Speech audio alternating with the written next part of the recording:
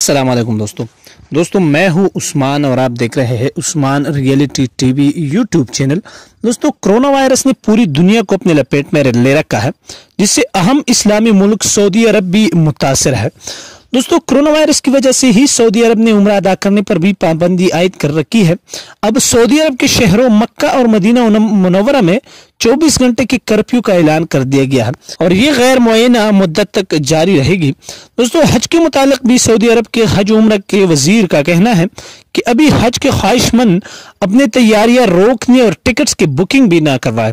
دوستو، حج کے حوالے سے ابھی تک غیر یقینی سی کیفیت ہے اور کچھ بھی نہیں کہا جا سکتا کہ حج ہو سکے گا یا نہیں۔ دوستو آج جو ہماری ویڈیو ہے، وہ یہ اسی بارے میں ہے کہ اسلامی تاریخ میں حج کب اور کتنی بار منسوخ کیا گیا ہے۔ اور مناسب کے حج ادا کرنے کی وجوہات بھی میں آج آپ لوگوں کو اپنی اس ویڈیو میں بتاؤں گا۔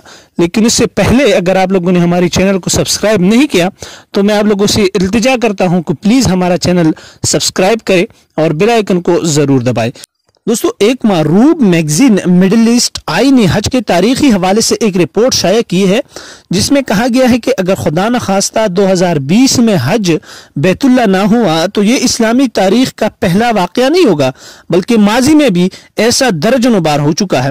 دوسری رپورٹ میں کہا گیا ہے کہ سعودی عرب کی ریاست انیس سو بتیس میں مارز وجود میں آئی، اس دوران اب تک حج کی ادائیگی میں خلل واقعہ نہیں ہوا۔ سعودی عرب کی وجود میں آنے سے چند سال قبل یعنی انیس سو سترہ اور انیس سو اٹھارہ میں دنیا میں سپینش فلو کی وبا پھیلی تھی، جس کی وجہ سے پانچ کروڑ اپراد ہلاک ہو گئے تھے۔ اس وقت بھی حج کی ادائیگی روکی گئی تھی۔ اور اگر روا سال دو ہزار بیس میں خدا نخواستہ حج کی ادائیگی نہیں ہوتی، تو یہ اسلامی تاریخ میں اس نوعیت کا چالیسواں واقعہ ہوگا۔ دوستو مڈل ایسٹ آئی کی اس رپورٹ کے مطابق آٹھ سو پینسٹھ عیسوی میں عباسی خلافت کے مخالف اسماعیل بن یوسف سپاک نے مکہ مکرمہ کے تقدس کو نظر انداز کرتے ہوئے عرفات کے پہاڑیوں پر موجود حاجیوں پر حملہ کر دیا تھا، جس کے نتیجے میں کئی حاجی شہید ہو گئے تھے، جس کی وجہ سے حج ملتوی کرنا پڑا تھا۔ دوستو، پھر انیس سو تیس عیسوی میں بحرین پر قابض کرامتی یعنی وہ اسماعیلی فرقے سے اس کا تعلق تھا اور اس کے سردار ابو طاہر الجنبی نے مکہ مکرمہ پر بڑے لشکر کے ساتھ حملہ کیا۔ دوستو، اس فوجی حملے میں تیس ہزار معصوم حاجیوں کو شہید کیا گیا اور سینکڑوں حاجیوں کی ناشوں کو زمزم کے پاک کوے میں پھینک کر اس کے تقدس کو پامال کیا گیا۔ دوستو، اس موقع پر ان لوگوں نے مسجد الحرام میں بھی لوٹ مار کی اور واپس جاتے ہوئے خانہ کعبہ سے حجر اسود بھی اپنے ساتھ بحرین لے گئے۔ دوستو، اس واقعی کئی سال بعد تک حج کی ادائیگی نہ ہو سکی، لیکن جب بحرین سے حجر اسود واپس لا کر خانہ کعبہ میں نصب کیا گیا تو اس کے بعد اگلے سالوں میں دوبارہ حج کے مناسک کی ادائیگی کا آغاز ہو گیا۔ دوستو رپورٹ کے مطابق انیس سو تریسی عیسوی اور اس کے بعد کے کئی سال بھی ایسے تھے جب حج نہ ہو سکا۔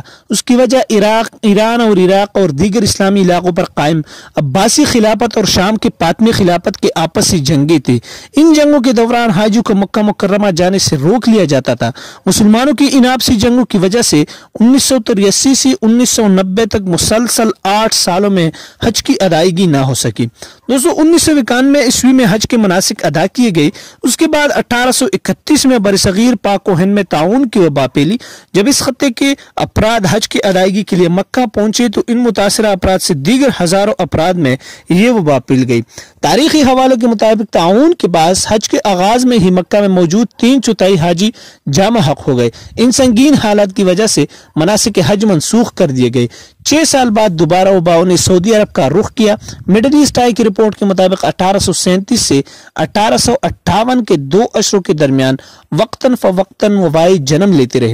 اس وجہ سے اس دوران سات بار حج کے مناسک ادا نہ ہو سکے۔ پہلے اٹھارہ سو اٹھتیس میں مکہ میں تعاون کی وبا پوٹی، جس کے بعد اٹھارہ سو چالیس تک حج ادا نہ ہو سکا۔ پھر اٹھارہ سو چیالیس میں مکہ کے رہائشوں کے ہیزہ کی وبا نے آن گیر لیا۔ اس وبا سے پندرہ ہزار افراد جمع ہو گئے، جس کی وجہ سے اٹھارہ سو انچس تک حج کی ادائیگی روک دی گئی۔ اس کے بعد اٹھارہ سو پچاس میں حج کے مناسک ادا کیے گئے اور پھر اٹھارہ سو اٹھاون میں ہیزہ کی وبا سے کئی ہلاکتیں اور ہوئی اور اس کی وجہ سے حج مکمل نہ ہو سکا۔ دوسری رپورٹ کے مطابق اٹھارہ سو پینسٹھ اور اٹھارہ سو تریسی عیسوی میں بھی وبا کی وجہ سے لوگ حج ادا نہ کر سکے۔ تو اپنے دوست عثمان کو اس دعا کے ساتھ اجازت دیجیے کہ اللہ کرے کہ اس سال کا حج بھی مسلمان بڑے جوش و جذبے سے ادا کرے اور اس کے مناسق پوری طرح سے اور خالص اللہ کی رضا کے لیے ادا کرے۔ اپنے دوست عثمان کو دیجیے اجازت۔ اللہ حافظ۔